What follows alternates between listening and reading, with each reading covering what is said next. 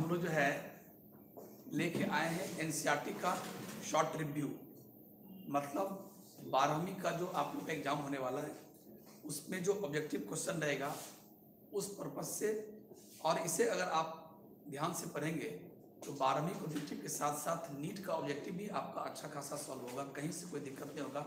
आप सिर्फ़ ध्यान से सुनेंगे।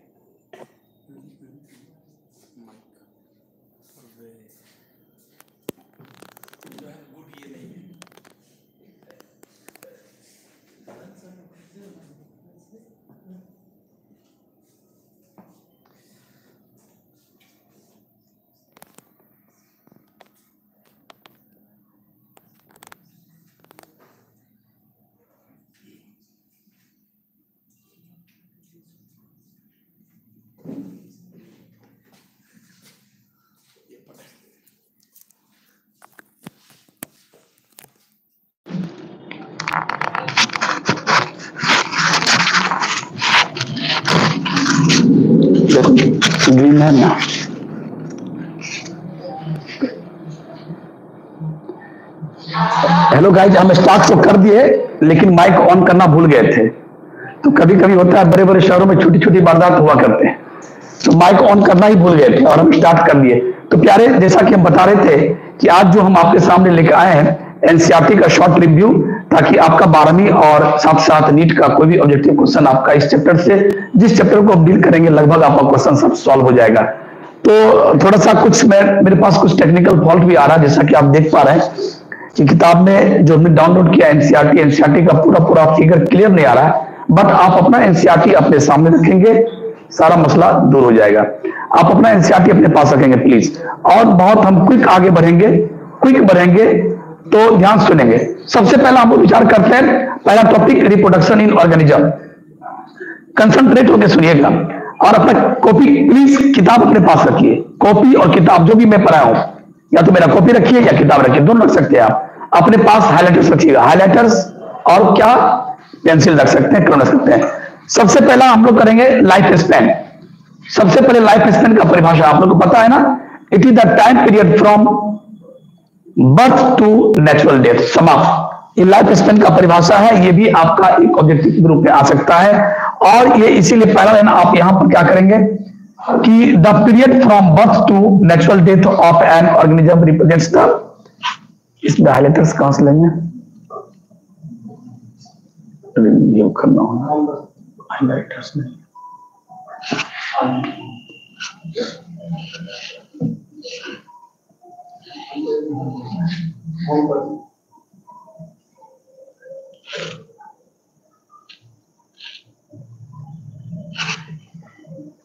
इसका आ नहीं रहा है कलर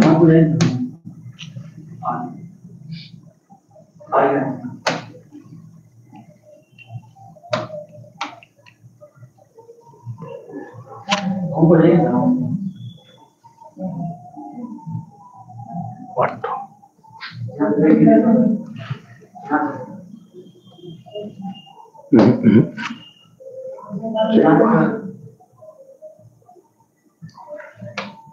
चलो कोई बात चलिए कोई बात नहीं, चलेगा। तो ये लाइफ स्पैन जो है लाइफ स्पैन का परिभाषा समाप्त हो गया। लाइफ स्पैन के बारे में हम एक अगला लाइन बोलेंगे, फटाफट चलिएगा। Life span does not depend on the size of the body body के साइज़ पर डिपेंड नहीं करता। ऐसा नहीं कि हाथी बहुत बड़ा है तो हाथी बहुत दिन जिएगा। चीटी बहुत छोटा है या कछुआ बहुत छोटा है तो बहुत कम दिन जिएगा। कछुआ का लाइफ कितना होता है बेटे? 100 से लेकर 140 साल तक होता है 150 साल तक होता है, लेकिन हाथी इतना बड़ा होते हुए भी 60 से 90 साल 60 टू 90 ईयर्स होता है। So it does not depend on the size of the body इसमें भी आपका ये ये आप ध्यान रख लीजिएगा ठीक है? अगला चलते हैं। इस इस, ये पेज समाप्त हो गया। चलिए, हम चलते हैं इस पेज पे बेटे इस पेज पे देखिए क्या है? इस पेज पर एक लिस्ट दिया है। फ़ोटो दिया आपके एनसीआरटी में डायग्राम बनाया होगा। हम लिखाए भी होंगे। Life span of some important organisms कुछ इंपॉर्टेंट ऑर्गेनिज्म उसका लाइफ स्पेन कितना होता है, जैसे हाथी का कितना होता है, ये सब याद कर लीजिएगा, ठीक है? तो ये इस पे कितना भरना है? साठ से नब्बे साल रोज का देख लीजिएगा सब आदमी रोज का कितना होता है? टेन इयर्स कहीं टेन इयर्स लिखता है, कहीं पाँच से सात साल लिखता है। कुत्ते का कुत्ते का जो, यानी डॉग का जो होता है लाइफ स्पेन वो काफ़ी वेरिएबल होता है। कहीं तेरह से पच्चीस, कहीं तेरह से बाईस, कहीं कहीं पच्चीस साल भी लिखता है। तो ये वेरिएबल है आप अपना अकल लगा के एग्ज़ाम में टिक मारेंगे। बटरफ्लाई एक सौ दो वीक का पंद्रह ये जो है पैरट, देख लीजिएगा पैरट। देखो, पैरट और कौवा में, कौवा कितना साल? पंद्रह। चौदह से पंद्रह साल, लेकिन पैरट क्या उस पर एक ज़ीरो डाल दो। वन फोर्टी ईयर्स ये क्या है? फ्रूट फ्लाई फ्रूट फ्लाई कितना होता है बेटे? Fruit fly one one month one month लेकिन अगर वही हम बात करें बटरफ्लाई वन वीक क्या बोलेंगे? वन वीक लेकिन अगर बात करेंगे हम मे फ्लाई की बात करेंगे मे फ्लाई तो कितना था वन डे है ना? अगर हम राइस की बात करें, चार से पाँच महीना अगर अगर हम टॉर्टराइज की बात करें तो एक हॉर्स की बात करें तो पचास साल, कितना, और काव की बात करें तो पच्चीस साल। अगर काव का लिखा हुआ नहीं है तो पच्चीस साल आप भर लेंगे, और अगर हॉर्स का लिखा हुआ नहीं है तो फिफ्टी ईयर्स भर लेंगे। बनियान बनाना ट्री पच्चीस साल ट्वेंटी फाइव ईयर्स और ये क्या है? बनियान बनियान होता है दो सौ से तीन सौ साल। ओके? तो इस प्रकार से आपने देखा एक, उसके बाद हम चलते हैं रिप्रोडक्शन दो प्रकार के होते हैं सेक्सुअल और एसेक्सुअल सेक्सुअल और एसेक्सुअल एसेक्सुअल में जितने भी डॉक्टर ऑर्गेनिज्म बनते हैं वो सभी की आप, आपस में क्या होता है? क्लोन्स कहलाता है। क्लोन्स क्या होता है? क्लोन्स का परिभाषा क्या होता है बेटे? देखिए क्लोन्स का परिभाषा क्या होता है? देखिए यहाँ पर क्या हुआ है। Morphologically and genetically similar individual morphologically जो दिखने में एक जैसा हो और सबका जीन भी एक जैसा हो। तो मॉर्फोलॉजिकली और genetically similar organisms are called clones तो क्लोन्स का परिभाषा आप ध्यान रखेंगे फटाफट चलिए। उसके बाद चलते हैं नेक्स्ट हाँ ये लाइन बहुत इंपॉर्टेंट है कि कुछ छोटे छोटे जीव जो है, जो मतलब खास करके जो एक उसके प्राणी है unicell organism like like Protista Monera ये ठीक मान लीजिएगा, इसमें क्या प्रोटिस्टा मोनेरा सब में ये यूनिसेलर ऑर्गेनिज्म है। इसमें इसका सेल डिवीज़न ही क्या है? यानी माइटोसिस यानी सेल डिवीज़न ही क्या है? इसका रिप्रोडक्शन है। सेल डिवीज़न ही इसका क्या है? रिप्रोडक्शन है। सेल डिवीज़न कर लिया। वैसे तो लिखा है माइटोसिस लेकिन रियल वर्ड में होता है ए माइटोसिस जैसा कि हमने आपको एलिमेंट पढ़ाया था कि रियल में सेल डिवीज़न तीन प्रकार के होते हैं mitosis amitosis mitosis and meiosis और में बहुत कमी डिफरेंस है, लेकिन अगर टू दी पॉइंट कहा जाए तो माइटोसिस नहीं बोल करके ए माइटोसिस बोलना चाहिए। बट माइटोसिस बोल दिया ब्रॉड सेंस में रियल में। तो इसमें मोडेरन्स में और प्रोटेशन में, चूँकि एक उसकी प्राणी है, इसमें सेल डिवीज़न भी क्या है इसका? मोड ऑफ़ रिप्रोडक्शन है। So cell division is the mode of reproduction याद रखिएगा कहा मोडिनल पोटेशियम याद रखिएगा। अगला है, ये अगर अगर आपका डायग्राम आ गया तो किसका डायग्राम है? पेनिसिलियम का। किसका है? पेनिसिलियम पेनिसिलियम क्या है? फंगस है। पेनिसिलियम क्या? फंगस है। एस्कोमाइसिटिस फंगस है। और ये सब क्या? कोनिडिया एक स्पोर है। कैसा है? नन मोटाइल स्पोर ये क्या आप देख रहे हैं? ये क्या है मोटाइल स्पोर्ट्स? इसको बोलते जू स्पोर्ट्स, है ना जू स्पोर्ट्स। ये क्या हाइड्रा का है बर्ड ये क्या है? जेम्यूल। ये जेम्यूल का फ़ोटो है। जेम्यूल क्या पता है ये outer outer outer cell wall, inner cell wall, micropyle, monic जॉन्स। ये क्या मोनिक जॉन्स, एस्पिक्यूल्स, कांटा। और अंदर में क्या बेटे? अंदर में क्या? आर्क्यूसाइट्स। या उसको सेल्स बोलते हैं, ये सेल्स। जब अच्छा मौसम आता है, जब फेवरेबल कंडीशन आता है तो ये आर्क्यूसाइट्स माइक्रोपाइल से निकल जाता है और धरती पर जहाँ जहाँ गिरता है, जहाँ जहाँ फेवरेबल कंडीशन आता है और फेवरेबल कंडीशन में ये क्या करता है? ये जमिनेट करेगा और एक नए स्पॉन्ज में कन्वर्ट कर जाएगा। चलिए, इतना भी आपको नहीं करना है। आगे हम चलते हैं नेक्स्ट में। अगर ये अगर ये, अगर अगर डायग्राम से फ़ोटो आता तो ये क्या बेटे? आईज तो क्या बोलते हैं? आईज और देखिए, ये आई कहीं कहीं जमिनेट कर गया है ये किसका फ़ोटो बेटे? ये जिंजर है ज़रूर, लेकिन अगर इसका हम एक वर्ड्स बोले तो क्या है राइजोम ये स्टेम का मॉडिफिकेशन है जिसमें आप लोग को पढ़ाए थे राइजोम कॉर्न बल्ब याद है ट्यूबर तो ये क्या है ट्यूबर ये क्या राइजोम है ना? याद रखिएगा।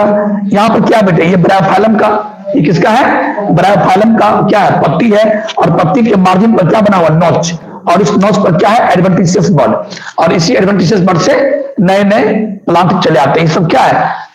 इसमें देखिए, ये क्या बेटे बलबिल्स ये क्या है? बलबिल्स कहाँ पाया था याद है ना लोग इसका निमोनिक बताया कि बलबिल्स कहाँ कहाँ मिलता है। निमोनिक क्या था? बल है अगर लिली तो पानी में ऑक्स के सामने डांस करके दिखाओ। Dioscorea lily pineapple lily है ना? और चलिए। ये क्या आप लोग से पता चल गया बेटे? ये क्या ऑफसेट ये क्या ऑफसेट यानी water hyacinth Eichhornia. Eichhornia water hyacinth जिसे जलकुंभी, यानी इसको बोलते हैं टेनर ऑफ़ बंगाल है ना? पूरे वर्ल्ड का सबसे अधिक प्रॉब्लम खड़ा करने वाला विड्स है, घास है है ना? और कुछ यहाँ पर नेक्स्ट चलते हैं इस पर फटाफट चलते हैं। देखिए जेम्यूल्स कहाँ मिलेगा? स्पॉन्ज में, इसको टिक मार दीजिएगा जेम्यूल्स कहाँ मिलते हैं? स्पॉन्ज में बड कहाँ मिलता? है हाइड्रा में मिलनी हाइड्रा और कहा जाए तो ईस्ट कहाँ मिलता? है पेनिसिलियम में, है ना? नेक्स्ट चलते हैं। ये सब दिया था सकर्स ये सब आपको पता है ही विजिटी प्रोपिग्यूल्स है। सेक्सुअल रिप्रोडक्शन में सेक्सुअल रिप्रोडक्शन में, जैसा कि हमने बताया था, हम लोग की ज़िंदगी में तीन स्टेज आता है। किसी भी लिविंग बींग्स की ज़िंदगी में तीन स्टेज आता है। एक स्टेज का नाम है जुबिनाइल और जुबिनाइल का दूसरा नाम है वेजिटेटिव स्टेज उसके बाद आता है रिप्रोडक्टिव स्टेज या मैच्योरिटी स्टेज और लास्ट स्टेज का नाम है बेटे। क्या चीज़? लास्ट इसके नाम एजिंग एंड सेनेसेंस वैसे आप एक स्टेज और भी बना सकते हो डेथ तो तीन स्टेज है, जिसमें से जुबिनाइल किसको बोलते हैं बेटे? इसको बोलते हैं कौन? ये that period of growth period of growth is called juvenile period of growth is called juvenile जन्म से लेकर जब तक आपका ग्रोथ होते रहता है, जब तक आपका ग्रोथ होते रहता है, तब तक के फ़ेज़ क्या बोलते हैं? जुबिनाइल फ़ेज़ बोलते हैं। और प्लांट में ऐसी फ़ेज़ क्या बोलते हैं? वेजिटेटिव फ़ेज़ और उसके बाद आता है रिप्रोडक्टिव फ़ेज़ या मैच्योरिटी फ़ेज़ अगर प्लांट में, अगर प्लांट में जिस दिन फूल आ जाए, बोल देना ये मैच्योरिटी फ़ेज़ में आ गया। और हम लोग का मैच्योरिटी फ़ेज़ अलग होता है मेल और फीमेल में, है ना? थिलार्की ब्रेस्ट का डेवलपमेंट फीमेल में मिनार्की पहला मेंस का होना, मर्दों में मुछदारी का आना, इत्यादि इत्यादि, ये सब क्या है? इस सब रिप्रोडक्टिव फ़ेज़ का पहचान है कि हम रिप्रोडक्टिव फ़ेज़ में आ गए, हम मेच्योर हो गए। उसके बाद बाँस जो है पचास से सौ साल के बीच में क्या देता है? बाँस क्या है? पचास से सौ साल के बीच में क्या देता है? फूल देता है। यानी on the basis of flowering two types of flowers monocarpic and polycarpic जो अपनी ज़िंदगी में एक ही बार फूल दे और उसके बाद उसका डेथ हो जाए। फूल देगा तो ऑफकोर्स फूल के बाद क्या बनेगा? फल। और फल के बाद क्या होगा? डेथ तो ऐसे प्लांट को मोनोकार्पिक प्लांट्स कहते हैं। और जो अपनी ज़िंदगी में मेनी टाइम्स बहुत बार फूल दे, उसे क्या कहते हैं? मेनी टाइम्स फ्लावरिंग उसे पॉलीकार्पिक कहते हैं। तो मोनोकार्पिक में एग्ज़ाम्पल आपके आपके पास है बेटे एक, जैसे बैम्बू बनाना ये सब क्या ज़िंदगी में एक ही बार, लेकिन बैम्बू एक स्पेशल है कि बैम्बू क्या है? पेरिनियल प्लांट है। सालों साल जीने वाला है। जनरली हम जानते हैं कि all the annual and all the biennial plants क्या होते हैं? मोनोकार्पिक होते हैं। ज़िंदगी में एक ही बार फूल देते हैं। लेकिन कुछ ऐसे पेरिनियल प्लांट है लाइक बैम्बू लाइक बनाना ये साल साल दर साल जीता है। लेकिन फिर भी ज़िंदगी में एक ही बार फूल देता है। तो बनाना का एक क्वेश्चन पूछता है, बनाना अपनी ज़िंदगी में कब फूल देता है? पचास से सौ साल के बीच में, याद कर लीजिए। एक आपका और एक स्पेशल क्वेश्चन है एस्ट्रोबिलेंथस कुंथियाना इसको आप टिक कर लीजिएगा एस्ट्रोबिलेंथस कुंथियाना जिसका नाम है नीला कुरंजी। इसमें जो फ्लावरिंग होता है, हर 12 साल पे होता है। 12 साल पर, और ये कहा मिलता है बेटे? ये आपका उतना ये इस एनसीआरटी को अपडेट नहीं किया है। ये वही पुराना एनसीआरटी के रूप में लिखा है कि लास्ट बार केरला, कर्नाटका और तमिलनाडु की घाटी में ये मिलता है। और ये लास्ट बार कब फ्लावरिंग हुआ? अक्टूबर 2006 में। लेकिन उसमें 12 साल जोड़ दीजिए तो कितना हुआ? अक्टूबर 2018 में। इसका मतलब अक्टूबर 2018 में भी खिला होगा। ये लाइन लिखा नहीं है। अब कब होगा? 18 में बारह जोड़ दीजिए। 2030 में। तो 2030 का लोग इंतज़ार करता है लोग टिकट कटाने का। टिकट कटाएँगे, जाके देखेंगे। पूरी घाटी ब्लू हो जाता है, ब्लू। क्योंकि इसके फूल ब्लू होते हैं। इसीलिए इस प्लांट का एक नाम है नीला कुरंजी है ना? एस्ट्रोबिलेंथस कुंथियाना क्या नाम है? नीला कुरंजी। 12 साल पर फूल देता है। हर 12 साल पर तमिलनाडु की घाटी में क्या होता है? एकदम ब्लू हो जाता है। है ना? ये भी कुछ याद रखिएगा। अगला चलते हैं। स्ट्रेस साइकिल और स्ट्रेस साइकिल और ये बताए थे कि स्ट्रेस साइकिल और मेंस्ट्रुअल साइकिल में क्या अंतर है। हमने बताया था कि मैमल्स दो प्रकार के होते हैं प्राइमेट्स और नॉन प्राइमेट्स प्राइमेट्स और नॉन प्राइमेट्स प्राइमेट्स कौन कौन है? हम लोग, जितने चलाक प्राणी है। Monkey human ape gorilla chimpanzee इस क्या है हम लोग? प्राइमेट्स है। और हम लोग के फीमेल के रिप्रोडक्टिव ऑर्गन में जो हर महीने साइक्लिकल चेंज आता है, उसको क्या बोलते हैं? मेंस्ट्रुअल साइकिल इसमें ब्लीडिंग होता है। शुरुआती का तीन से पाँच दिन क्या होता है ब्रीडिंग होता है। लेकिन आप गौर कीजिएगा, जो नॉन प्राइमेट्स है, जैसे गाय, बैल, बकरी जितना भी है, गधा एलिफेंट घोड़ा, ऊँट इत्यादि ये क्या नॉन प्राइमेट है? ये उतना चलाक नहीं होता है। इसके फीमेल के रिप्रोडक्टिव ऑर्गन में भी हर महीने चेंज आता है। लेकिन चेंज आता है, उसमें थोड़ा अंतर है। देखिएगा, उसमें भेजाना से ब्रीडिंग नहीं होता है। वहाँ भी इंडोमेट्रियम टूटता है। इंडोमेट्रियम के टूटने से क्या टूट जाता है? उसके नीचे वाला ब्लड वेसल्स और उसके टूटने से ब्रीडिंग होता है। तो वो ब्रीडिंग हम लोगों में क्या होता है? प्राइमेट्स के फीमेल के बजाना से ब्रीडिंग के रूप में बाहर आता है। है ना बेटे? ब्रीडिंग होता है। लेकिन आप देखिएगा नॉन प्राइमेट में कभी भी गाय, कभी भी भैंसी कभी भी कुतिया, ये सब में घोड़ी कभी देखिएगा, उसके बजाना से हर महीने ब्लीडिंग नहीं हो जाती। क्यों नहीं ब्लीडिंग हो रहा? उसके अंदर टूटा वहाँ भी इंडोमेट्रियम टूटा वहाँ भी, लेकिन वो एब्जॉर्ब हो गया। तो उसको बोलते हैं स्ट्रेस साइकिल वो भी मिलता जुलता ही है तो उसका नाम रखा गया स्टस साइकिल नॉन प्राइमेट में क्या नाम रखा गया? स्टस साइकिल और प्राइमेट पे नाम रखा गया मेंस्ट्रुअल साइकिल अब आगे चलते हैं, यहाँ पर हम लोग, यहाँ पर आपको ऐसे बताए थे सीजनल ब्रीडर और कंटिन्यूस ब्रीडर कुछ है कि पूरी साल तक बच्चा पैदा करते रहता है ब्रीडिंग करते रहता है। उसको बोलते हैं कंटिन्यूस जैसे उसमें हम लोग भी ले लीजिए, पक्षी भी ले लीजिए। लेकिन अगर हम बात करें कि डॉग का, अगर हम बात करें फ्रॉग का, अगर हम बात करें डियर का तो कुछ ऐसे जीव हैं जो एक पार्टिकुलर सीज़न में ही क्या करता है ब्रीडिंग करता है। उसको क्या बोलते हैं? सीजनल ब्रीडर सीजनल ब्रीडर उसके बाद बेटे चलते हैं सेक्सुअल रिप्रोडक्शन में कितने इवेंट्स थे? सेक्सुअल रिप्रोडक्शन में कितने इवेंट्स थे? तो इवेंट्स में हम लोग मेनली तीन इवेंट्स था। Pre fertilisation fertilisation and post fertilisation pre fertilisation का मतलब फर्टिलाइजेशन से पहले फर्टिलाइजेशन मतलब फर्टिलाइजेशन और पोस्ट उसके बाद का। प्री फर्टिलाइजेशन में दो इवेंट्स था। क्या चीज़? गैमिटोजेनेसिस गैमिट का बनना, यानी स्पर्मेटोजेनेसिस मेल में ओजेनेसिस फीमेल में। उसके बाद था जब गैमिट बन गया तो गैमिट का transfer transfer of gamete which two events है ना? इसमें दो इवेंट आया gametogenesis and transfer of gamete इसमें कोई बात ही नहीं है। ये दो प्रकार का होता है एक्सटर्नल और इंटरनल इस पर भी कुछ एग्जांपल देखेंगे। पोस्ट फर्टिलाइजेशन में क्या होता है बेटे? इम्ब्रायोजेनेसिस है ना? क्या हो गया? इम्ब्रायोजेनेसिस होता है। तो इसमें चलते हैं हम लोग। अब गैमिट की जब बात आती है तो दो बात आती है। आइसोगैमिट यानी होमोगैमिट यानी अगर गैमिट मेल और फीमेल दोनों गैमिट अगर बाहर से मोर्फोलॉजिकली बिल्कुल सेम हो मोर्फोलॉजिकली बिल्कुल सेम हो तो ऐसे गेमिट को आइसोगैमिट कहते हैं। लाइक आप देख सकते हैं, ये मेल और फीमेल दो गैमिट है। क्या आप देखने से कोई अंतर है क्या? इसको बोलते हैं आइसोगैमिट या होमोगैमिट आइसोगेमिट या कहाँ मिलेगा? एलगी में। कहाँ मिलेगा? एलगी में। यहाँ लिखा हुआ कौन एलगी है? देखो बेटे। आइसोगेमिट्स ऑफ़ क्लेडोफोरा यहाँ से क्वेश्चन आएगा। एकदम टिक मार दीजिएगा।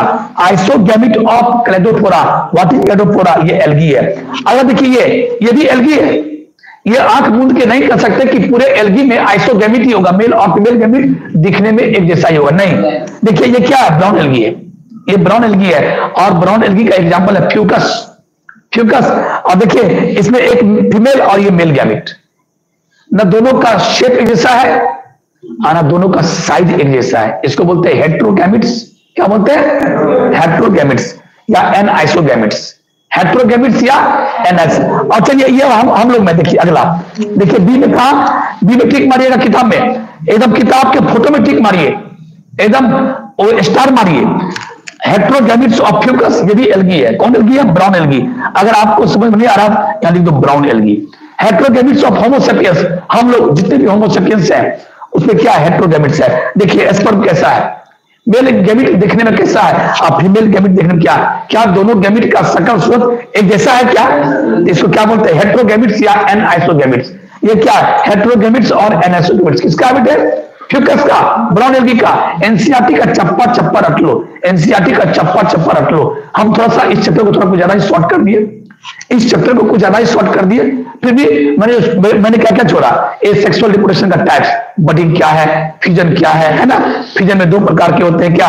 Multiple fission binary fission binary fission को हमने बोला था। इस, इस यही बहुत प्रकार के होते हैं। Simple binary fission longitudinal binary fission transverse binary fission oblique binary fission है ना? ये सब देखा था। सर लॉन्गिट्यूडल फिजन एग्जांपल क्या देखा था? एवलिना ट्रांसफर्स क्या देखा?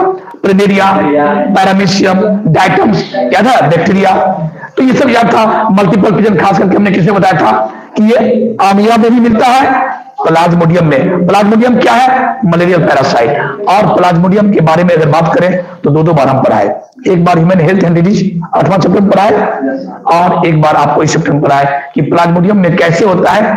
फ्री कैरियोकैनेसिस और उसके बाद साइटोकैनेसिस और बन जाता है ढेर सारे प्लाज्मोडियम का बच्चा। ठीक है? और आरबीसी फट जाता है। ठीक है? बेटे अगर चलते हैं तो इसको हमने थोड़ा मिस किया, मुझे बता ही दिए। एक बडिंग के बारे में हमने मिस किया। बडिंग के बारे में ज़्यादा कुछ हमने नहीं बोला। बडिंग क्या होता है? एक्सटर्नल और internal internal budding internal budding यहाँ पर क्या था? जम्यूस जो स्पॉन्ज मिलता है। और एक्सटर्नल कहा मिलता है? हाइड्रा में। हाइड्रा में। कहा मिलता है? साइकोन यानी साइकोन जो कि पॉलीफेरा में था साइकोन उसके बाद कहा मिलता है? यूनिसेलर में तो ईस्ट ये सब भी था बडिंग ही था। वेजिटेटिव प्रोपोगेशन हमने छोड़ दिया, है ना? वेजिटेटिव प्रोपोगेशन क्या था? मतलब root cutting stem cutting leaf cutting ये सबसे वहाँ पर कोई खास इतना कुछ बहुत ज़्यादा ऑब्जेक्टिव नहीं पूछता है, जो कि आज हम लोग का मकसद ये है ऑब्जेक्टिव सॉल्व करना ऑब्जेक्टिव रखना। तो इस, मैं समझता हूँ कि इस पूरे चैप्टर में अब आगे चलते हैं कुछ और हाँ अगर ये सब अगर जैसे कोई पूछेगा, पपाया क्या है? पपाया। तो पपाया है कौन प्लांट डायोसियस प्लांट क्योंकि पपाया का ये male male papaya plant female papaya plant male papaya plant का मतलब हुआ कि इसमें सिर्फ़ मेल फ्लावरी होगा। फीमेल पपाया प्लांट का मतलब हुआ, इसमें सिर्फ़ फीमेल फ्लावरी होगा। फ्लावर कैसा? यूनिसेक्सुअल फ्लावर दो तरह का हो सकता है बाइसेक्सुअल और यूनिसेक्सुअल जब एक ही फूल में दोनों सेक्स हो कौन कौन यानी एंड्रोसियम और गैनोसियम यानी एंड्रोसियम की यूनिट क्या बोलते हैं? स्टामेन और गैनोसियम की यूनिट क्या बोलते हैं? कार्पेल या पिस्टिल दोनों हो एक ही फूल में तो बाइसेक्सुअल कोई एक ही हो तो यूनिसेक्सुअल और यूनिसेक्सुअल हो, अगर यूनिसेक्सुअल फ्लावर हो तो अब दो तरह की बात हो सकती है. एक ही प्लांट में दोनों तरह का फूल हो सकता है, कहीं मेल कहीं फीमेल कहीं मेल कहीं फीमेल और ऐसा हो सकता है कि एक प्लांट में सिर्फ़ एक ही फूल हो मेल है तो मेल ही। है फीमेल है तो फीमेल है। जैसे डेट डेट पाम पाम, तार, खजूर, पपाया, ये सब क्या है? मेल है तो मेल और फीमेल है तो फीमेल। चलो, कोकोनट। कोकोनट क्या है? सारा फ्लावर क्या है? यूनिसेक्सुअल। लेकिन कोकोनट में क्या मिलेगा? एक ही कोकोनट के प्लांट में मेल फ्लावर भी है और फीमेल फ्लावर भी है। तो ऐसे प्लांट को हम लोग बोलते हैं मोनेशियस प्लांट मोनेशियस प्लांट एक ही प्लांट में मन करे काका, कुकू कुकू। मन करे काका, कुकू कुकू। कुकू कुकू बने कुकुम्बर, काका बने कोकोनट कोकोनट और ककम्बर मन बने मोनेशियस ये मोनेशियस प्लांट है। यानी एक प्लांट एक ही प्लांट में, एक ही प्लांट बॉडी पर दोनों प्रकार का फूल होगा। बेल फ्लावर भी होगा फीमेल फ्लावर होगा। पापा डेट दियो ना। पापा डेट दियो ना। पापा मैंने पपाया। डेट मैंने क्या हो गया? डेट पाम तार खजूर और दियो मैंने डायोसियस तो ये आपको बताए थे कि डायोसियस और मोनेशियस प्लांट कौन कौन है ना? तो ये सब आगे चलते हैं। हर उसी तरह से हम लोग चलते हैं एनिमल में। हर्माफ्रोडाइट का नाम क्या है? हर माँ हर माँ का इच्छा होता है बेटी का नाम मोना हो और मोना को लड़के लोग कॉलेज में बाय करते हैं। बताए थे ना? हर माँ मैंने, हर माँ की इच्छा होती है हर्माफ्रोडाइट बेटी का नाम मोना मैंने मोनिशियस बाइसेक्सुअल बाय बाय तो बाइसेक्सुअल यानी एक ही बॉडी में, अगर एनिमल के एक ही बॉडी में दोनों सेक्स ऑर्गन हो, यानी टेस्टिस भी हो और ओवरी भी हो तो इसको बोलते हैं क्या चीज़? बाइसेक्सुअल या मोनेशियस या हर्माफ्रोडाइट ठीक, इसका उल्टा, अगर एक बॉडी में एक एक बॉडी जैसे हम लोग, एक मेल है तो एक फीमेल है। Female frog male frog male cockroach female cockroach है ना? Male snake female snake male male bird female bird अगर ऐसा है, एक बॉडी में एक ही सेक्स है, यानी सेक्स सेपरेट है तो ऐसे लिविंग बींग्स को, ऐसे एनिमल्स को बोलते हैं यूनिसेक्सुअल हम लोग क्या है यूनिसेक्सुअल और यूनिसेक्सुअल का दूसरा नाम क्या है? डायोसियस हम लोग क्या है? डायोसियस है ना? Delhi University Delhi University D मने D U D U Delhi University तो डी मने हुआ डायोसियस और यू मने हुआ यूनिसेक्सुअल यानी यूनिसेक्सुअल को ही डायोसियस भी कहते हैं हम लोग एनिमल में। चलिए आगे चलते बेटे। ये सब वही दिखा रहा है, देखिए। ये क्या है? ये अर्थवर्म है। ये क्या डायोसियस एक ही बॉडी में क्या दोनों चीज़ है? देखिए, इसके अंदर का सीन दिखाया है। इसके अर्थवर्म के अंदर का सीन दिखाया क्या? ये देखिए, यहाँ पर क्या है? टेस्टिस ये टेस्टिस का सैक है और अंदर में टेस्टिस है। यानी मेल वाला पार्ट हो गया। ये क्या ओवरी मेल और फीमेल दोनों गोनेड दोनों प्राइमरी सेक्स ऑर्गन को क्या बोलते हैं? गोनेड्स दोनों एक ही बॉडी में है। दोनों सेक्सुअल एक ही बॉडी में है। इसको बोलते हैं यूनिसेक्सुअल सॉरी बाइसेक्सुअल या हर्माफ्रोडाइट या मोनेशियस देखिए कॉकरोच की बात करते हैं। ये कॉकरोच फीमेल है। ये कॉकरोच क्या? मेल है। तो ये मेल का दिखाया टेस्टिस ये दिखाया फीमेल का ओवरी ठीक है? तो इसका मतलब ये सेक्स सेपरेट है अलग अलग बॉडी पर है तो कॉकरोच किसका एग्जांपल हुआ? यूनिसेक्सुअल या डायोसियस का। अब चलते यहाँ चलिए अगला। ये देखिए ये, ये क्या है? ये मर्केंटिया का प्लांट है। डी में चलिए डी में। डायोसिस प्लांट क्या है? मर्केंटिया मर्केंटिया फ्लावर कहाँ आता है? ब्रायोफाइटा का है। ये सब ठीक मारते चलिएगा। ठीक मारते चलिएगा। ये सब ऑब्जेक्टिव क्वेश्चन है। मर्केंटिया क्या है? मर्केंटिया क्या है? मर्केंटिया ब्रायोफाइटा प्लांट है ब्रायोफाइटा और मर्केंटिया में देखिए, ये मेल है तो फीमेल थैलस है। इस पर क्या है? फीमेल सेक्स ऑर्गन यह मेल सेक्स ऑर्गन एंथ्रीडिया बोलते हैं। मेल सेक्स ऑर्गन को एंथ्रीडियम और फीमेल सेक्स ऑर्गन को आर्किगोनियम कहते हैं। लेकिन दोनों अलग अलग बॉडी पर है। तो ये जस्ट हम लोग की तरह है। ये हम लोग की तरह है। इसलिए क्या बोलते हैं इसको? मर्केंटिया क्या डायोसिस है। क्या देखिएगा अब चलिए यहाँ पर देखिएगा। इसका नाम है चारा। पढ़ा क्या आप लोग को ग्रीन एल्गी का एग्ज़ाम्पल चारा। ग्रीन एल्गी का ये चारा। तो चारा या कारा, कोई कोई कारा भी पड़ता है कोई चारा, आप लोग चारा पड़ता भैया। तो चारा में क्या देखिए, इसको थोड़ा बड़ा करके देखा गया। इन चारा का प्लांट है, थोड़ा बड़ा कर दिया गया। और जब गौर से देखा गया तो चारा के एक प्लांट में दोनों, ऊपर में फीमेल सेक्स ऑर्गन और नीचे में मेल सेक्स ऑर्गन भाई साहब, दोनों सेक्स ऑर्गन एक ही बॉडी पर हो तो ऐसे प्लांट को क्या बोलते हैं? ऐसे प्लांट को क्या बोलते हैं? याद अभी बोलते हैं बाइसेक्सुअल बाइसेक्सुअल, या इसे बोलते हैं मोनेशियस क्या बोलते हैं? मोनेशियस तो यहाँ लिखा हुआ देखिए, एक क्या सी था। सी के बारे में पढ़िए। है ना? मोनेशियस प्लांट चारा। ये था डायोसिस प्लांट, मर्केंटिया। अर्थवर्म क्या था? बाइसेक्सुअल। और ये सब क्या था? यूनिसेक्सुअल। क्या कोई दिक्कत यहाँ से क्वेश्चन आता है। उसके बाद चलते ये तो देख लीजिएगा। आप लोग को हम बताए थे मियोसाइट का परिभाषा। व्हाट इज़ मियोसाइट मियोसाइट किसे कहते हैं? जिसमें मियोसिस हो, ऐसा सेल जिसमें क्या हो मियोसिस हो। हम लोग डिप्लॉयड ऑर्गेनिज्म है। डिप्लॉयड ऑर्गेनिज्म में, यानी हम लोग का पूरा सेल क्या डिप्लॉयड है? टू सेक्स क्रोमोजोम है टू एन है। तो ऑफकोर्स और हम लोग में अगर गैमिट बनेगा तो gametes are always haploid gametes are always haploid और गैमिट बनेगा तो हम लोग में क्या होगा? हम लोग क्या होगा? म्योसिस होगा। तो हमारे हमारे बॉडी में, जिस सेल में म्योसिस होता है उस सेल को बोलते हैं मियोसाइट ऑफ़ कोर्स अगर मैं आपसे क्वेश्चन पूछूँ क्योंकि आपका होल सिलेबस कवर हो चुका है तो आप बोलिए कि मेल के टेस्टिस में कौन ऐसा सेल है जहाँ पर म्योसिस वन हुआ था म्योसिस हो रहा था? प्राइमरी एस्पर्मेटोसाइट क्या नाम था उसका नाम? प्राइमरी एस्पर्मेटोसाइट पहले नाम था एस्पर्मेटोगोनिया खा पी के बना हुआ प्राइमरी एस्पर्मेटोसाइट प्राइमरी एस्पर्मेटोसाइट में चूँकि आपको एक से लेकर छह चैप्टर का कल एग्ज़ाम होने वाला है। कल जो हम एग्ज़ाम कंडक्ट किए हैं, उसमें एक से लेकर छह चैप्टर का क्वेश्चन होगा जी। तो अगर मैं अगर मैं ये चैप्टर पढ़ा रहा हूँ, और बीच में अगर मैं तीसरे चैप्टर की बात भी अगर कर रहा हूँ तो कोई दिक्कत, कोई बात नहीं है। तो मैंने क्या बोला, सबसे पहले एस्पर्मेटोगोनिया उसके बाद खा पी के बड़ा हुआ ग्रोथ फ़ेज़ में गया। तो क्या बना? Primary spermatocyte primary spermatocyte meiosis one हुआ। तो क्या बना? सेकेंडरी एस्पर्मेटोसाइट और सेकेंडरी एस्पर्मेटोसाइट म्यूसिस हुआ। तो क्या बना? एस्पर्मेटिड्स और एस्पर्मेटिड्स में कहा गया? डिफ्रेंशिएशन में। जिसको बोलते हैं एस्पर्मियोजेनेसिस एस्पर्मेटिड से एस्पर्मेटोजुआ का बनना इज़ कॉल एस्पर्मियोजेनेसिस या डिफ्रेंशिएशन है ना? तो इस प्रकार से आज हमको देखना है कि आपको पता है कि अगर मियोसाइट में 46 क्रोमोजोम है तो ऑफकोर्स गैमिट में 23 अगर मियोसाइट में, अगर मियोसाइट में आठ क्रोमोजोम है तो गैमिट में चार, यानी टू एन का आधा एन तो वही तो लिखा है, क्रोमोजोम नंबर इन न्यूसाइट और क्रोमोजोम नंबर इन उसका हल आधा। ये कुछ करना नहीं तो बड़ा मज़ेदार है। आप बस इसका मकसद ये था कि आप भरिए आप पता जैसे मान लो, अगर ह्यूमन बींग में छियालीस, सत्ताईस हो गया, अब इसी तरह बढ़िए हाउस फ्लाई में एन का मान यानी म्यूसाइट में बारह क्रोमोजोम चलिए, इसमें चलिए। रैट में, अगर वहाँ इक्कीस है तो रैट के एक डिप्लॉइड सेल में रैट के एक म्यूसाइट में कितने क्रोमोजोम बयालीस। कुत्ता में अठहत्तर है तो उनचालीस। इसके बहाने आप सीख भी गए, उसका हाफ़ करना, दुगुना करना, और इसके बहाने आपको यह भी कह दिया गया कि थोड़ा बहुत एक नज़र आप देख लीजिए। अगर एनसीआरटी में कोई चीज़ दिया है तो बड़ा खतरनाक पड़ा जाता है। उसको याद भी कर लीजिए। एनसीआरटी में फुल स्टॉप कोमा भी रख लीजिए बेटे। ठीक है? तो क्या दिक्कत है? इंसान का याद हो ही गया छियालीस वेबसाइट में हाउस फ्लाई का बारह रेड का बयालीस और डॉग का अठहत्तर। कैट का कितना होता है बेटे निकाल लो? कैट का अड़तीस।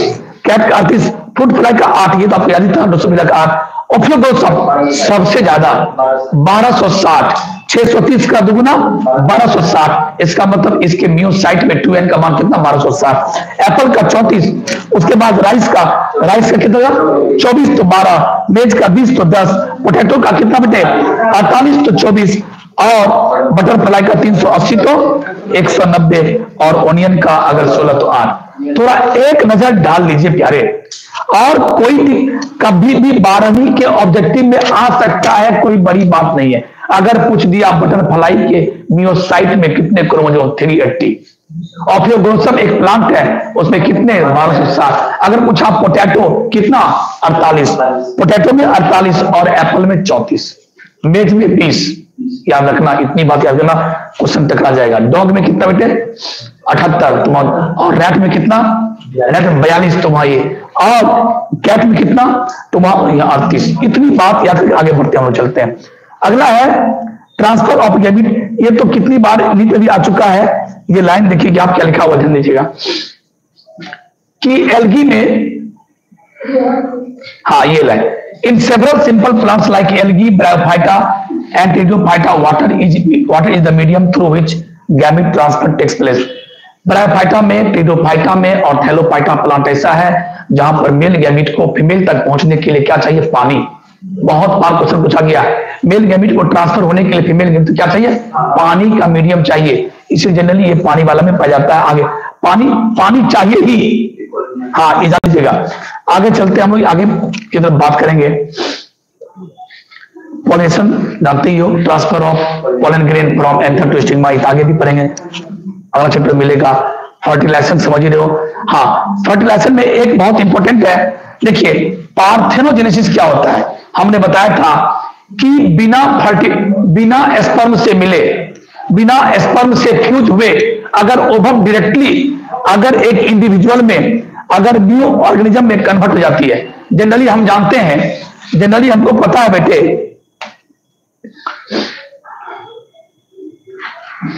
जनरली हम लोग को पता है कि अगर ये ओभम है और ये स्पर्म है, दोनों सटेगा तो जायगोट बनेगा और जायगोट में माइटोसिस होगा तो इम्ब्रायो बनेगा और इम्ब्रायो से क्या बनेगा? एक यंग वन एक बच्चा बनेगा। यानी न्यू ऑर्गेनिज्म का निर्माण होगा। ऐसा ही होता है। लेकिन कभी कभी क्या होता है? कभी कभी क्या कहता है? ओभम कहता है, ओभम कहता है इसको हाँ मतलब अगर गाँव देहात की भाषा में ज़ोर मुझर का तुम्हारा हम इतना इंतज़ार नहीं करेंगे, तुम नहीं आओ, तुम बाहर में चले जाओ, लेकिन तेरे बिना भी हम, तेरे बिना भी हम न्यू ऑर्गेनिज्म बना सकते हैं, बिना फर्टिलाइजेशन का भी हम न्यू ऑर्गेनिज्म बना सकते हैं, यानी स्पर्म नहीं भी आया तो ओवम डायरेक्टली क्या बन गया? ओवम में माइटोसिस होने लगा माइटोसिस होने लगा तो धीरे धीरे करते करते एक यंग वन बन गया, एक बच्चा बन गया। लेकिन नतीजा क्या होगा? अगर फर्टिलाइजेशन से बनता तो बच्चा बच्चा क्या होता? डिप्लॉइड लेकिन फर्टिलाइजेशन नहीं हुआ ओभम क्या हैप्लॉइड है। और डायरेक्ट ओभम में ही माइटोसिस शुरू हुआ, इसलिए सारा सेल इस बच्चे का क्या होगा? हैप्लॉइड ही होगा। और बच्चे क्या होंगे? हैप्लॉइड एग्जांपल कहाँ का? जैसे हनी बी हनी बी और टर्की, एक टर्की पक्षी है, ठीक है? बहुत जगह मिलता है बेटे में मिलता है जब टर्की टर्की बर्ड। तो आप लोग इसको ज़रूर टिक मार दीजिएगा। इसको टिक मार लीजिएगा देखिए। टर्की बर्ड, रोटी फर्स हनी बी, और लिजार्ड में, कुछ लिजार्ड में, बर्ड्स में, female gametes undergo development to form new organism without fertilization this phenomenon is called parthenogenesis without fertilization, if female gamete is converted into new organism, this event is called parthenogenesis. Example क्या क्या है? Turkey Turkey क्या है? Bird रोटी फर क्या है? रोटी फर भी एक क्या है? इंसेक्ट ग्रुप में आता होगा कंफर्मेशन तो नहीं है।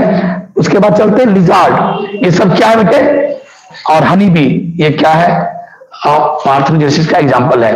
अब चलते हैं वो एक्सटर्नल फर्टिलाइजेशन का एग्जांपल देख लीजिएगा। कहाँ कहाँ मिलता है? जब क्या अगर प्लांट की बात करें तो देखिए यहाँ देखिए एम्फीबिया देखिए majority of algae and fishes majority of algae and as well as amphibia मछली एम्फीबिया ये देखिए, मछली। ये मछली है, ये एम्फीबिया है। एंड मेजोरिटी ऑफ़ एलगी में क्या होता है बेटे? एक्सटर्नल फर्टिलाइजेशन एक्सटर्नल फर्टिलाइजेशन याद कर लीजिएगा। अब चलते हैं इंटरनल फर्टिलाइजेशन पर। एक चीज़ एक चीज़ बात याद रखिएगा। जब फर्टिलाइजेशन बाहर में हो रहा है मेल और फीमेल के बीच बाहर मिल रहा है तो जो बच्चा डेवलप कर रहा है बाहर बन रहा है, इसीलिए उसमें खतरा काफ़ी है। Off are extremely vulnerable to predator शिकारी आएगा, उसको खा सकता है। हम लोगों में क्या है? बच्चा मेरा पेट में पल रहा है। कोई शिकारी आके हमारे बच्चे को नहीं खा सकता। जब तक बच्चा मैच्योर नहीं होता, तब तक हम लोग उसको जन्म नहीं देते हैं। इसीलिए तो कहने का मतलब है, अगर इंटरनल फर्टिलाइजेशन होता, हमारे बॉडी कैविटी में ही फर्टिलाइजेशन होता तो वो बच्चा हमारे बॉडी के अंदर फलता ठीक है? और हमारे उस बच्चे का किसी प्रकार का कोई खतरा नहीं है। यहाँ पर क्या है? एक और स्पर बाहर निकल गया, दोनों मिल गया, बाहर पल रहा है। हो सकता जैसे मानो मेढक मेढक का बच्चा को खतरा है कि कोई बड़ी मछली आके उसको खा जाएगी बड़ी मछली क्या हुआ? बड़ी मछली हुआ प्रीडेटर तो मेढक को खतरा हुआ। तो मछली के बच्चा को खतरा है, क्योंकि तो इसीलिए कहा गया, ये बहुत इंपोर्टेंट लाइन है। एक तो आप रखिए ये लाइन और एक रखो ये लाइन कि जहाँ जहाँ जहाँ जहाँ एक्सटर्नल फर्टिलाइजेशन है, उसके बेबी को, उसके ऑफ़ स्प्रिंग को एक्सट्रीमली वर्नेबल का मतलब होता है, वो शिकारी से शिकार हो जाएगा, उसके कगार पर बैठा हुआ है है ना? बहुत खतरा है। इसीलिए उसके एडल्टहुड तक वो पहुंचेगा कि नहीं? बच्चा से एडल्ट तक पहुंचेगा कि नहीं? ये बहुत बड़ा खतरा है, बहुत थ्रेटनिंग है। चलिए, ये समझ गए। आगे चलते हम लोग, चलते हैं ऊपर की तरफ़। ये इंटरनल फर्टिलाइज़र इंटरनल फर्टिलाइज़र में अगर हम प्लांट की बात करें, वहाँ प्लांट कौन था? Algae most of the algae में एक्सटर्नल फर्टिलाइज़र अगर हम प्लांट की बात करें तो प्लांट में कौन है बेटे? देखो bryophyta pteridophyta gymnosperm, angiosperm. और एलगी कौन था? हेलोफाइटा इसमें क्या मिलता है? इंटरनल फर्टिलाइजेशन बॉडी के अंदर फर्टिलाइजेशन होता है। और जितने भी एनिमल्स है, देखिए मेनी ट्रस्टियर एनिमल धरती पर रहने वाला एनिमल पानी में रहने वाले एनिमल में जनरली क्या होता है? एक्सटर्नल फर्टिलाइजेशन और धरती पर रहने वाले, जैसे fungi higher animals such reptiles चिड़िया मैमल हम लोग, सब में क्या होता है? एंड मेजोरिटी ऑफ़ प्लांट्स में क्या मिलता है बेटे? एकदम इसको ऐसे रंग दीजिए। आप अपने एनसीआरटी को रंग दीजिए। ये सब एग्जाम्पल्स है। हो सकता है, जिस समय हम आपको पढ़ाए हो, आपको थ्योरी लिखाए हो कॉपी में, हो सकता है एक दो पॉइंट्स आपके एनसीआरटी का नहीं भी लिखे होंगे, दो तीन लिखे होंगे। इसीलिए you have to sit with your NCERT book then you have to study on the YouTube चाहे आप लाइव देख रहे हो, चाहे रिकॉर्डिंग रिकॉर्डिंग देख रहे हो। चाहे आप लाइव देखिए या रिकॉर्डिंग देखिए you must have your NCERT with you NCERT ले चलो और बगल मेरी कॉपी रखो। और हाइलाइटर्स तो ये देखा, आगे चलते हैं। पोस्ट फर्टिलाइजेशन इवेंट्स पोस्ट एक क्या होता है जायगोट का बनना। और जब जायगोट बन गया तो इमराजिनेसिस ठीक है? इमराजिनेसिस में दो बात होगा। जायगोट से इमराइव कैसे बनेगा? दो बातें होती है। जायगोट से इमराइव कैसे बनेगा? दो बातें होती है। एक सेल डिवीज़न और सेल डिवीज़न होगा तो सेल का संख्या बढ़ेगा। सेल का संख्या बढ़ने से काम में चलेगा। अब सेल को डिफ्रेंशिएट होना पड़ेगा। और सेल को डिफ्रेंशिएट करने का मतलब है, सारे सेल के कुछ ग्रुप बनाओ टिश्यू उसका टिश्यू नाम रख दो। टिश्यू बन गया तो अब ऑर्गेन बनेगा, तब आगे जाके बच्चा बनेगा। दैट्स व्हाई ड्यूरिंग इम्यूनाइजेसिस दो काम होता है cell division and cell differentiation ये वर्ड याद कर लो cell division and cell differentiation यानी पोस्ट फर्टिलाइजेशन इवेंट्स में दो बातें हुई जायगोट का फॉर्मेशन और इम्यूनाइजेसिस अब जायगोट में दो बातें हैं। जायगोट का डेवलपमेंट कैसे होता है? जैसे हम लोग क्या है, जायगुट को डेवलपमेंट कहाँ होने देते हैं? अपने बॉडी के अंदर में। बॉडी के अंदर में। कि तुम डेवलप हो, जब तक तुम बच्चा नहीं बोलोगे बाहर मत आना। लेकिन चलो, पक्षी की बात करो। जायगोट का डेवलपमेंट कहाँ होता है? इसके आधार पर तीन प्रकार के जीव होते हैं। ओबी पेरस बीबी पेरस और ओबी पेरस बीबी पेरस का मतलब हुआ, जो बच्चा को जन्म देगा। यानी पूरे जायगोट को पूरे जायगोट को डेवलपमेंट कहाँ होने दिया? अपने बॉडी के अंदर। और जब बच्चा बन गया, तब बाहर निकाला इसको बोलते बीबी पेरस ओविपरस क्या हुआ? अंडा देने वाला। जैसे पक्षी रेप्टाइल्स सांप जितने कछुआ बेटे हैं, वो सब क्या है? ओविपरस अंडा देने वाला। उसने क्या किया? जायगोट को बहुत दिन तक अपने बॉडी के अंदर डेवलपमेंट होने का मौका और अपने बॉडी से बाहर निकाल दिया। क्या? और बॉडी उसको क्या किया? सुरक्षा दे दिया। कैलकेरियस सेल बना दिया। उसके चारों तरफ़ क्या बना दिया? कैलकेरियस सेल बना दिया। और जिसे बोलते हो ना मुर्गी का अंडा। तो मुर्गी का अंडा। तो ये जो मुर्गी का अंडा जो आप ऐसे बनाते हो ये क्या है? कैल्शियम कार्बोनेट का। कैल्शियम कार्बोनेट का बना हुआ क्या है? शेल है। एस एच ई शेल कवच है। और उसके अंदर में इमरा क्या कर रहा है? डेवलप कर रहा है। है ना जायगोट डेवलप कर रहा है। तो वो भी पेरस अपने बॉडी से बाहर निकाल दिया जायगोट को। जाओ जाओ, मेरे बॉडी के अंदर अधिक दिन मत रहो। लेकिन हाँ जब बाहर जा रहा था तो बोला, मम्मा मम्मा, मुझे बाहर क्यों निकाल रही हो? देखो तो इंसान लोग, इंसान गाय बैल होने कितना अच्छा है। जायगोट को अंदर तब तक पालता जब तक बच्चा नहीं बनता। आप मुझे बाहर फेंक रही हो। तो बोला, बेटे, घबराने की बात ही है। हम आपके चारों तरफ़ एक कवच बना दिए और आप पर हम सब दिन बैठेंगे। हम अपनी बॉडी का गर्मी देंगे, बेटे। हाँ ये बात अलग है कि ओबी पेरस और बी पेरस एक अंतर क्या है कि आपके बच्चा को कोई खतरा नहीं है, लेकिन ओबी पेरस के बच्चा को अंडा कोई भी खा सकता है। सबसे बड़ा कमीना तो इंसान है। इंसान अंडा ले खड़े चलाता, खा जाता है। बत्तख कंडा और मुर्गी कंडा।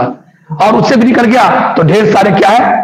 प्रीडेटर है। जंगल में एक से शिकारी है, आता और खा जाता है। इसीलिए ओवी पेरस का संख्या बहुत ज़्यादा तेज़ी से नहीं बढ़ पाता है क्योंकि उसका खतरा ज़्यादा होता है। अगला चलते हैं। अगला है, ये सब देखिए, यहाँ पर क्या दिखाया गया? कि फ्रूट कैसे बनता है? ओवरी वॉल क्या बन गया? ओवरी बन जाता है फ्रूट और ओवरी बन जाता है सीड आपके फर्टिलाइज़र बेटे तो ओवरी का ओवरी वॉल बनता है फ्रूट का वॉल है ना?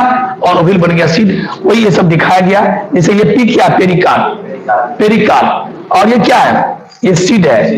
ये क्या पेरिकार्प ये सीड है? ये पेरिकार्प ये सीड है। ये पेरिकार्प है ये सीड है। मटर का था। तो वही यहाँ पर दिखाया गया ओबी प्लस वही।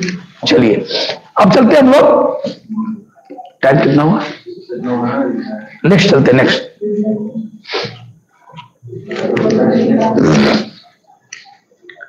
तो इतना क्वेश्चन ध्यान रख लीजिएगा।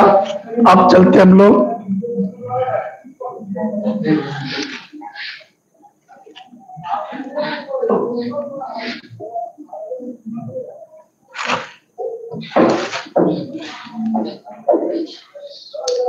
टाइम बहुत लगता है बेटे। और नहीं चूँकि हम लोग काफ़ी लेट से शुरू किया ना, हम लोग काफ़ी लेट से शुरू किया। अभी तक मेरा एक चैप्टर पूरा हुआ। अभी तक एक चैप्टर पूरा हुआ। क्यों? फ़ायदा हो रहा है बेटे? फ़ायदा हो रहा है ना?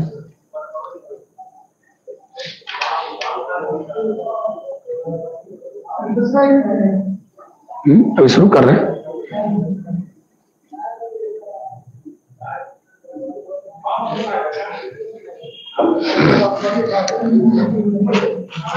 इसमें हम लोग कहानी शुरुआत करेंगे यहाँ से। ये एक टिपिकल एंजियोस्पर्मिक फ्लावर का फ़ोटो दिया है। ये क्या बेटे?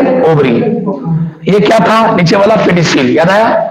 ये क्या था? सेपल सेपल के वर्ण को कैलिक्स कहते हैं और कैलिक्स के यूनिट को सेपल कहते हैं। ये क्या एंथर ये क्या पेटल ये क्या फिलामेंट फिलामेंट और एंथर मिल गया तो क्या बन गया? स्टामेंट अब चलिए, ये क्या ऊपर वाला स्टिग्मा ये क्या स्टाइल और नीचे वाला क्या? ओवरी ओवरी यानी स्टिग्मा स्टाइल और मिलकर क्या बन गया? कार्पेल या पिस्टिल कार्पेल या और कार्पेल या पिस्टिल के वर्ण को क्या बोलते हैं? गाइनोसियम स्टामेन के वर्ण को एंडोसियम सेपल के वर्ण को कैलिक्स पेटल के वर्ण को याद है ना?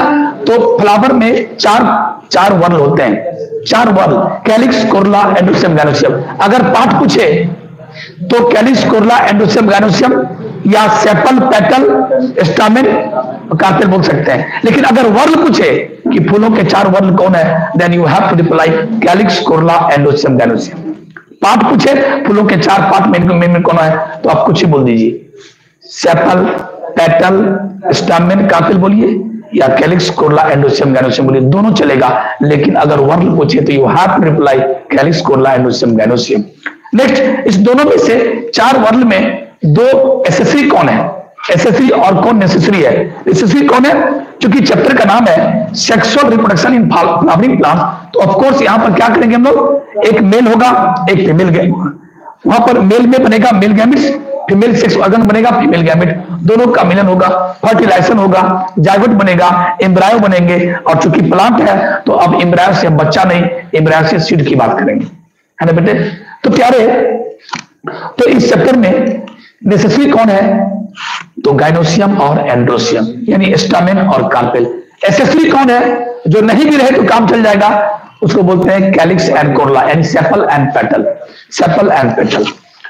उसके बाद जैसा कि आप देखा कि अगर मैं इसकी बात करूँ तो ये फिलामेंट है, इसकी बात करूँ तो एंथर है। एंथर क्या? एंथर आर जनरली बायलोब उसके पास दो लोब होते हैं। और हर लोब की अगर बात करूँ तो हर लोब में कितने होते हैं? दो चैम्बर।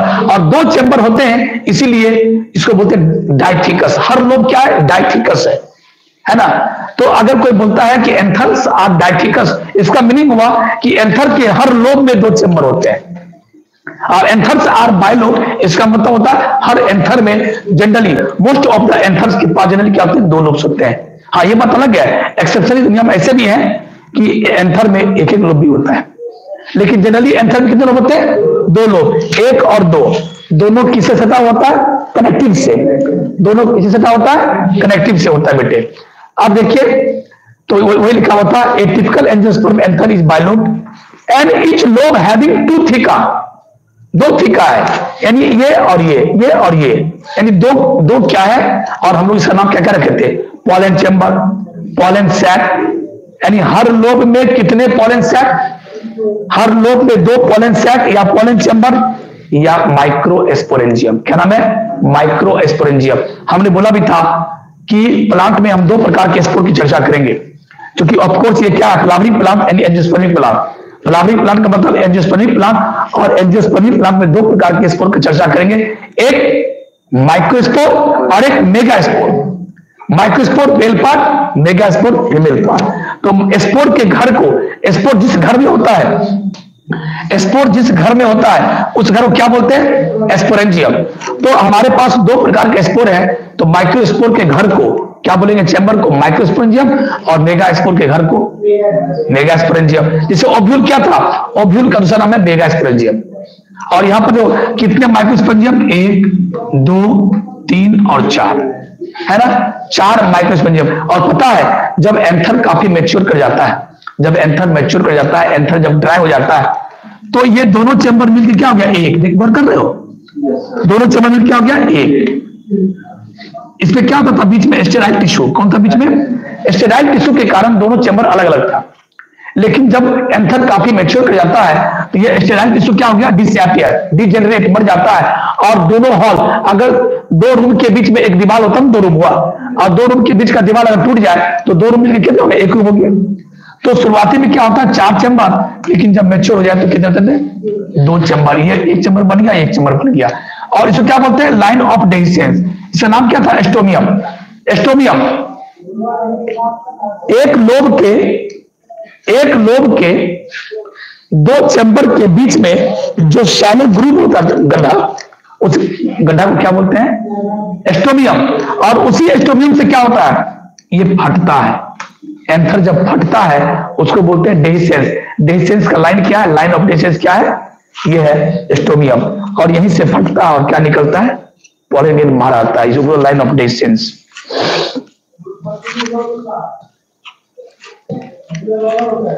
अब चलते हैं एंथर का एंथर के वाल का लेयर या देखो एंथर के वाल में चार लेयर था epidermis endothecium middle layer and tapetum epidermis endothecium middle layer and tapetum this is the tapetum this is the tapetum ये टैप्टम लेयर है।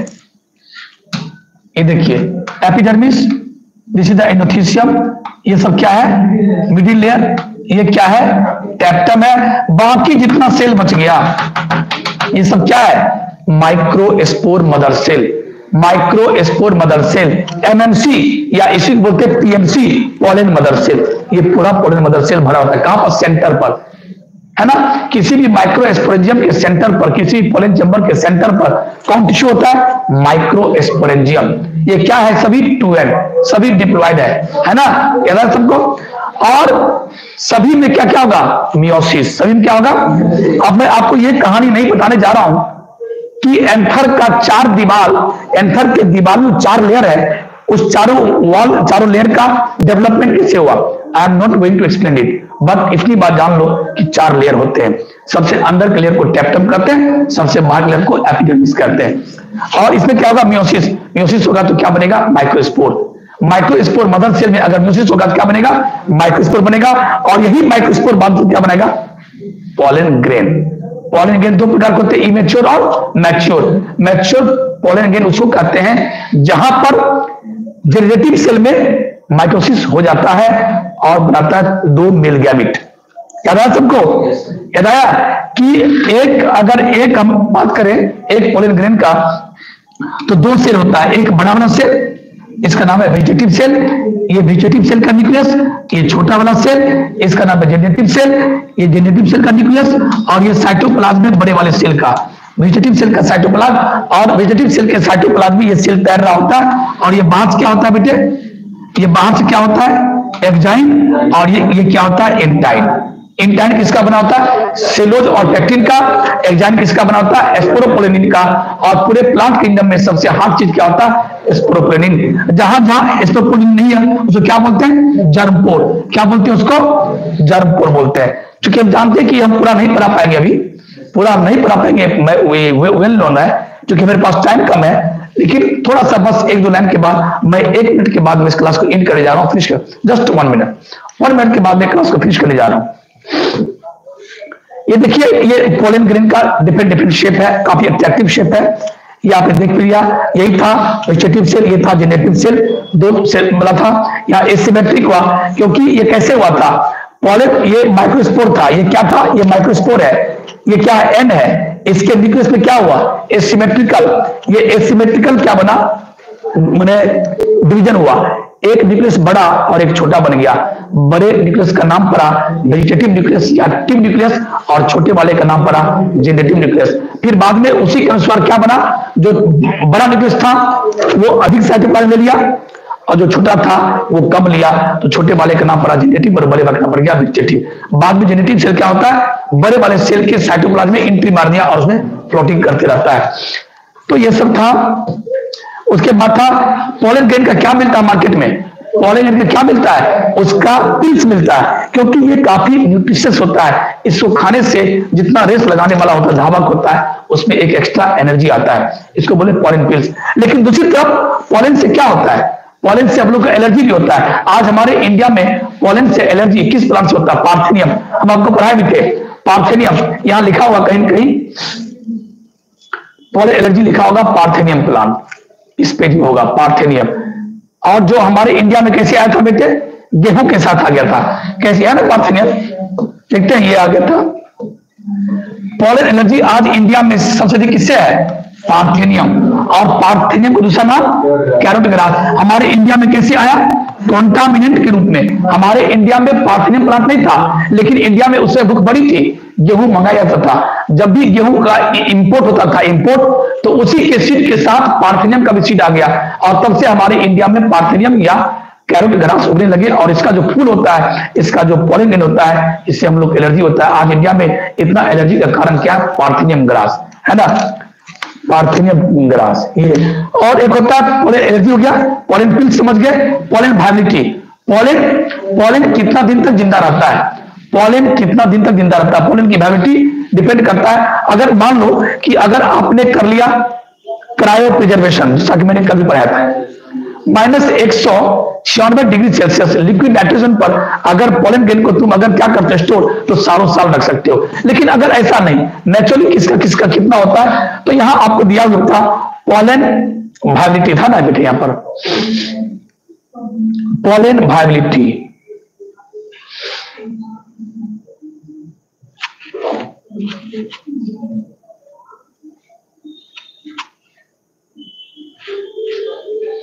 देखिए थर्टी मिनट्स एंथर फटा पोलन ग्रेन निकला और उसकी वैलिटी क्या हुआ?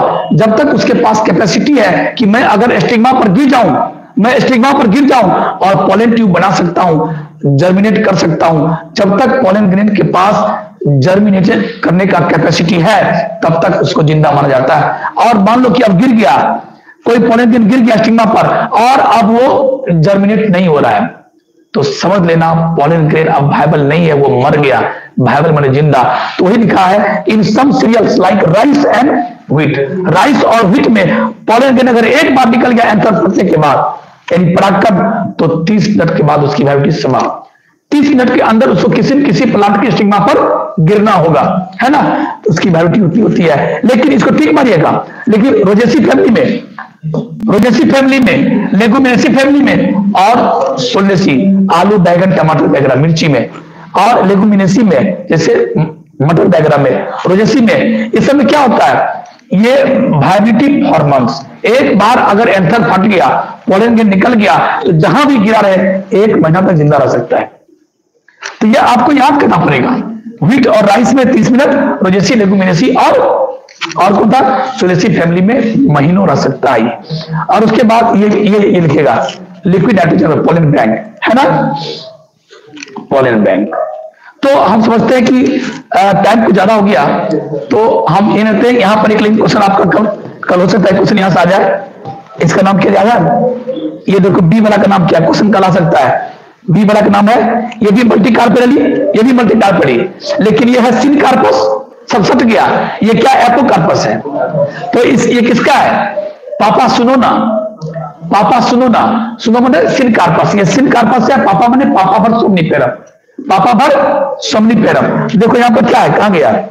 पापा भर सोमनीपेरम है ना? हाँ सुनो ना मतलब सिन कार्पस पापा, सुनो ना। माइक आप माइक लीजिए ना।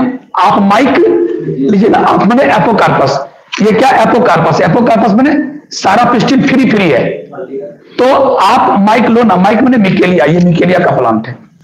ये मिकेलिया का प्लांट है। मिकेलिया माइकेलिया तो माइकेलिया के प्लांट के साथ एपोकार्पस है। ये भी मल्टी कार्पलरी ये भी मल्टी कार्पलरी ये सिन कार्पस ये एपोकार्पस इसका नाम इसका नाम पापा भर सोमनी फेरम। और इससे क्या निकलता है? पापा भर सोमनी फेरम किसका? प्लांट है पॉपी सीड पॉपी प्लांट इससे मॉर्फिन निकलता है। और ये मिकेलिया का तो ये भी बड़ा इंपॉर्टेंट क्वेश्चन है। और ये किसका फ़ोटो है? ओब्यूल का। ये किसका है? माइक्रोपाइप ये क्या हाइलम? ये क्या फ्यूनिकिल ये चला जा।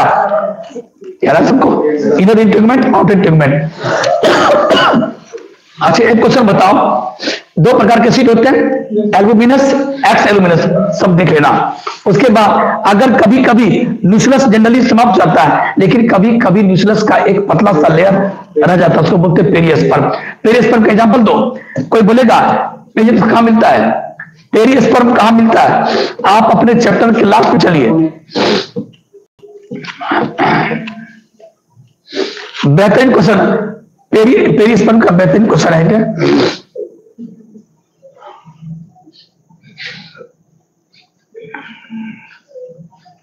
सब क्वेश्चन याद रखिए बेटे। देखिए black pepper black pepper and beet black pepper and beet इसमें क्या होता है?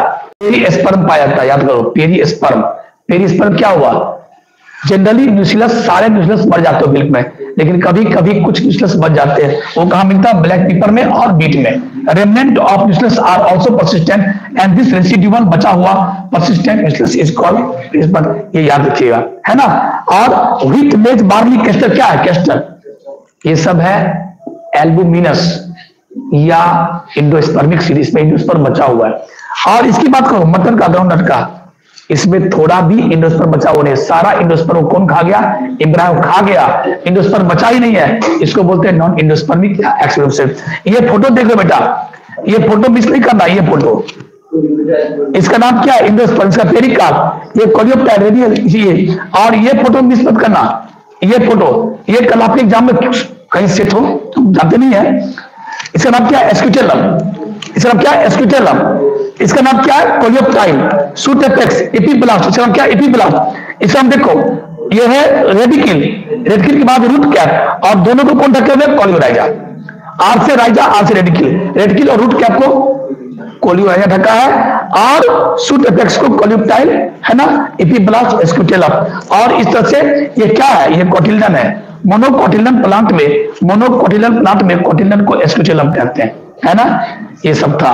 ये फ़ोटो देख लीजिएगा, रूट क्या? ये क्या हाइपोकोटाइल ये क्या कोटिल्डन ये वाला रेडिकिल ये क्या प्लूम्यूल सब देख लीजिएगा फिर ध्यान से देख लीजिएगा।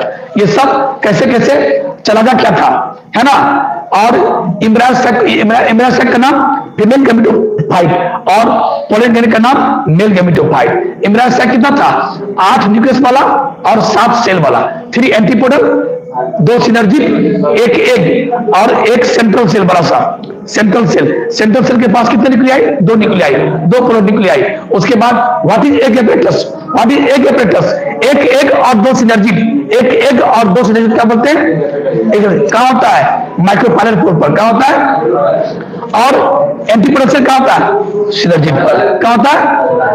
सॉरी ये एंटी पोटेंशियल कहाँ होता है? चलाजल पुल पर। कहाँ होता है? चलाजल पुल पर। क्या देखिएगा और ये बात आप याद है ना कि चार मेगा स्पोर था। निशुलस के अंदर चार मेगा स्पोर चार में तीन मर गई। एक ही ज़िंदा बची। और वो ज़िंदा बची उसी एक स्पोर्ट से, उसी मोनो स्पोर्ट से इमरान सैक का डेवलपमेंट हुआ। इसलिए इमरान सैक के डेवलपमेंट को बोलते हैं मोनो स्पोरिक डेवलपमेंट क्या बोलते हैं? मोनो स्पोरिक क्योंकि तीन तो मर गई। किस साल की मर गई? बोलिए, किस साल की मर गई? मौत से मर गई, मौत से माइक्रोपाइलर मौत से मर गई, मौत से माइक्रोपाइलर चार में से तीन माइक्रोपाइलर साइड का मर गई और एक बच गई चराजल साइड का। और वही बाद में बड़ा हुई डेवलप की तो क्या बनी? इमरान सैक इमरान सैक याद समझ को? यस तो ये सब था। थोड़ा थोड़ा सब देख लीजिएगा, ठीक? Thank you thank you very much ठीक है? ओके हम थोड़ा इसका डिस्कशन नहीं कर सके पॉलिनेशन देख लीजिएगा पॉलिनेशन क्रॉस और सेल्फ यानी ऑटोगेमी ट्यूटोरियल देख लीजिएगा बेटे है ना? जो स्टेरा प्लाम ये सब देखिए वेस्टेरिया ठीक thank you thank you very much good night